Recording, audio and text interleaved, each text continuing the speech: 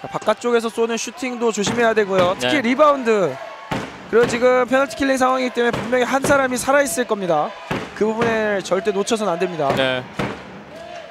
블루라인 앞쪽 반대쪽도. 한번 훌... 반대쪽도 한 번씩 봐줘야 되고요. 하시모토의 패스 콘유스케 들어갔어요. 콘유스케 동점골입니다. 맨멀리 선수가 스틱을 뻗어줄 줄 알았는데 역방향으로 걸리면서 스틱 뻗기엔 조금 짧았습니다. 그 부분을 바로 또 그물 쪽으로 확실하게 때려주네요.